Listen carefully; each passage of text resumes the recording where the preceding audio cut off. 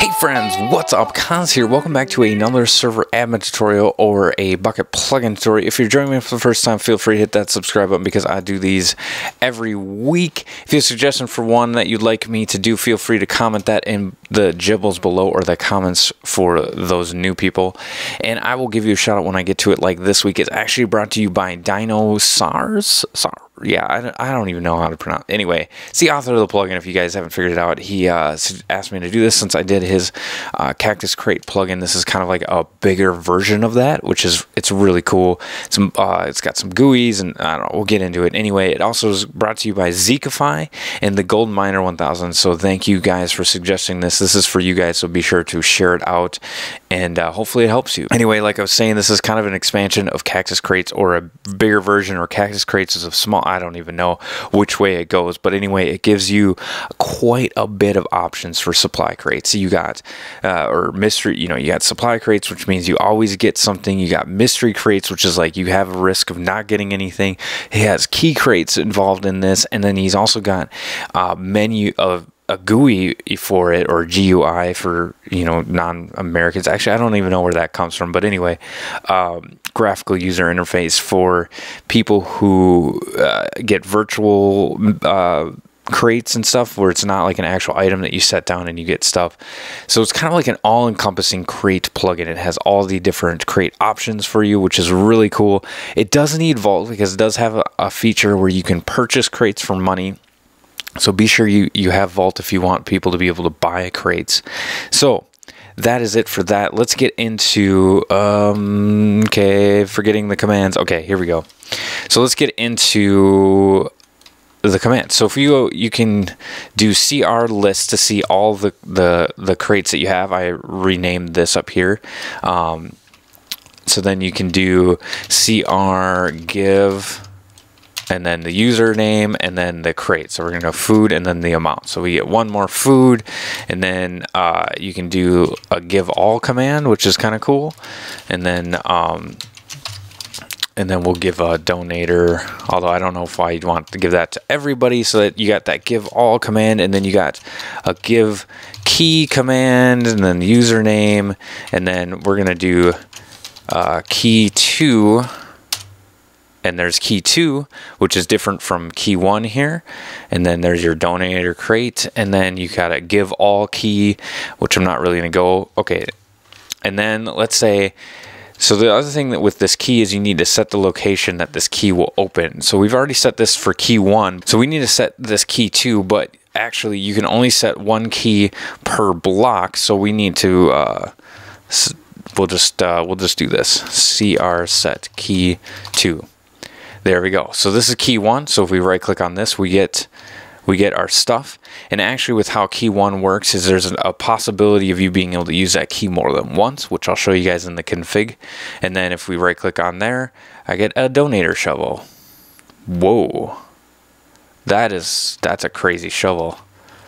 Okay, so anyway, that is that's a really nice shovel. Let's get that out of here. We don't need those anymore. So then here's the food chest. If you right click, you just gotta set it on the ground and you can open it up and you get all the stuff out of there.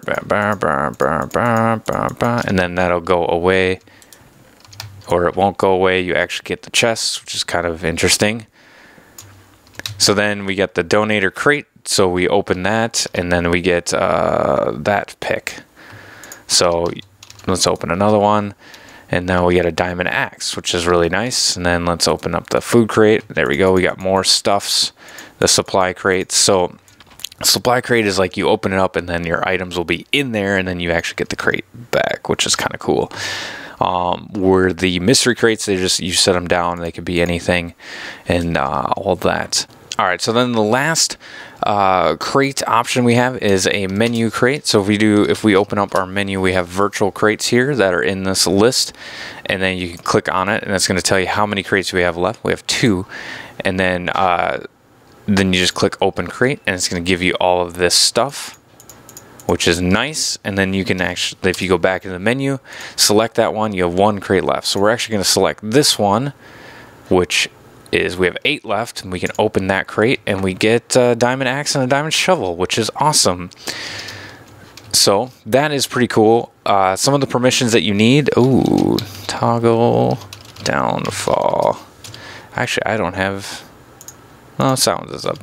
So anyway, the permissions that are for this is uh, the basic permissions are cr.create, which I think is given by users by default. Then you have to give them cr.menu so they can open menus, and then cr.info so they can see the info. So another one they have is info um, key one.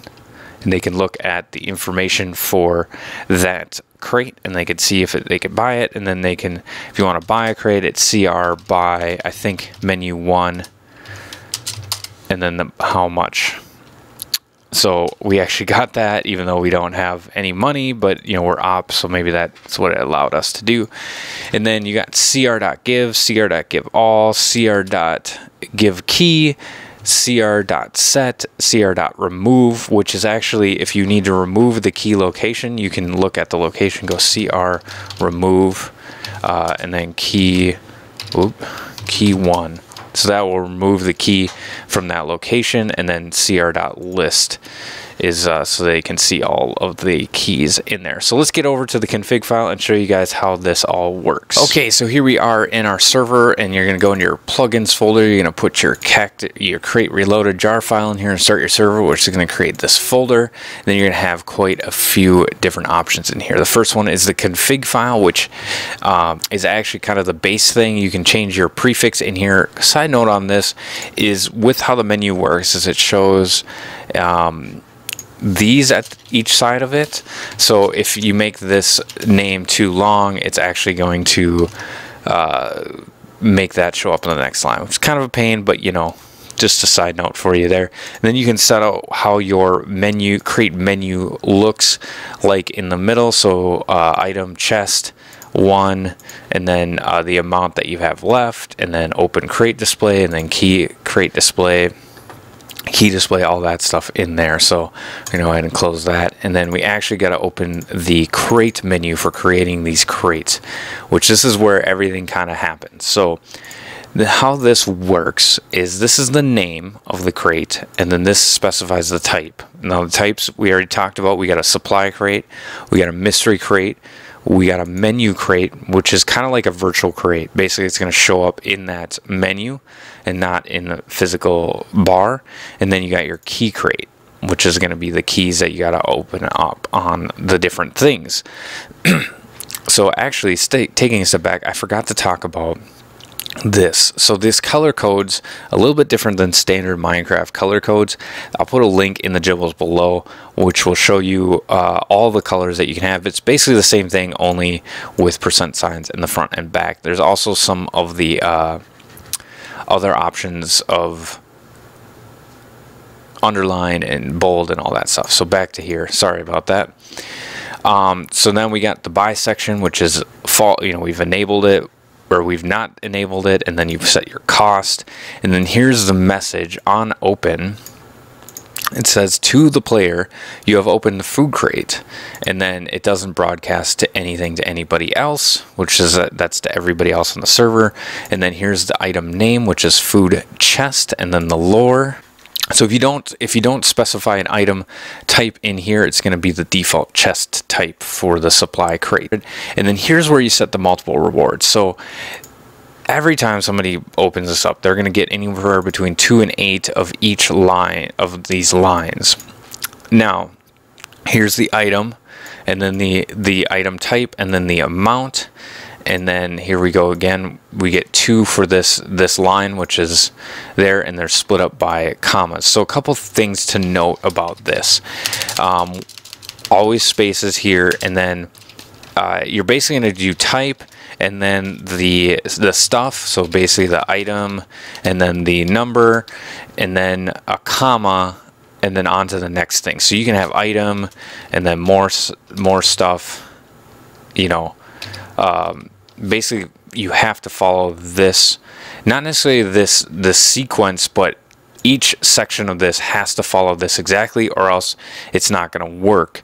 You can't have spaces after the commas. You have to have a colon here. So depending on what it is that needs to be done. So you have item colon. This was saying that you're going to give an item. You have the item name or the item ID and then the amount and then you have a comma and then the chance. So the way that the chance works is kind of interesting. What the chance does is it adds up all the uh, numbers for the chance reward. So this adds up to 100. So you have a 25% chance or a 25 in 100 or a 1 in 4 uh, chance of getting this line. And that's how it works. So this is kind of equal across all of them we're going to take a look at this donator mystery crate. Now, the mystery crate doesn't means that you won't always get an item, um, but you can give out items per line. So some of the options that you have for rewards, you see in the item, you see the chance, um, and then we have a command as well. So you can give anything you want to them which is really cool. And then you have a broadcast option in here, which is really cool. But keep in mind, I mean, this this line can be as long as you want, but you got to keep following the pre you know the uh, the syntax of each thing. So we can see that we have the item ID we have by false we have um, on open it doesn't send anything to the player but it broadcasts something to everybody. And then you see that uh, they have a chance of winning this, which is going to command give the player a diamond sword, donator sword, and then um, the options on that. This is the options for the um, enchantments on that. So I'll give you a link in the Gibbles to tell you what each one of those are, but it's basically with the give command. Um, and then uh, comma and then the chance and it's 1 in actually 21.5 so what you do for this is you're you're adding up 1 plus 1.5 plus 2 plus 2 plus 1 so if we wanted to make that a bigger number or we'd probably lower that so it's a less likely but then that does modify the overall chances. So it's kind of an interesting chance system. It adds up all of the the chances for each for each reward and then it divides that up and then you got your broadcast, which is going to send it to everybody.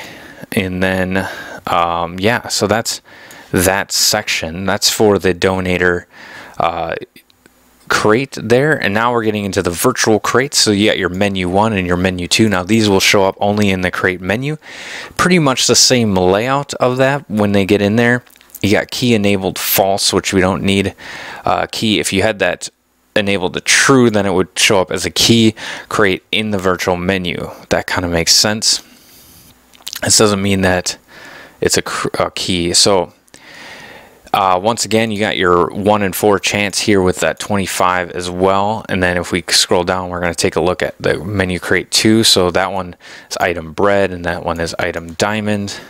So then we got the key two, which is kind of a bigger deal. The item is diamond. Once again, you have a chance of 1 in 21.5 um, of getting each one of these. So if you want to give out multiple items per line, so obviously, or already this is a command um, chance broadcast. So if you wanted to give another item for this, you come here all the way at the end after that and then you're going to do actually let's do one that's more on the screen so if we want to do that gonna do comma, and then gonna do item, colon, item ID, and then the amount. So, uh, and that is all that you need. So that's the stone, and then that's the amount there. And then uh, we just have the uh, colon there at the end, which is really neat. And then um, if you, you got your commands, all that stuff. Like I said, so crazy. The the possibilities of this are pretty endless. You can modify this a lot. I would think I would probably use just the the menu GUI a lot instead of having the in-game commands. I just I think the GUI is really cool. Gives them an option of a place where they can have all their stuff. Uh, they can just kind of store up crates as well without having them in their inventory. So that's all I got for you guys this week. Hopefully you guys found that helpful. It's a really neat plugin. Um, you know, it's pretty early on in this plugin development, so feel free to comment some suggestions for it or features you'd like to see on the author's page. Be sure to check it out in the Gibbles and uh, give it a whirl. It's really cool. You can do a lot of stuff. It's I just I like the options that you can put. You can run any command you want, and then um, I like the option of like with the supply crates, you can run multiple lines. You have a possibility of running multiple lines, and then I didn't talk about it, but you can set that same thing for the key crate. So you can have minimum and maximum uses for each crate, which you can see that in the config file for the key crate. So that's really cool. Anyways, hopefully you found that helpful. Feel free to like, comment, and subscribe on the video. And be sure to come back next week. I'll be doing another tutorial. And uh, so this is Koz from McFriends reminding you guys all, enjoy the game. God bless. Haha, duck and weave, duck and weave. Hey, you better watch it. Oh, oh, oh no. Oh no. Okay. I am thankful for frying pans, potatoes, Kent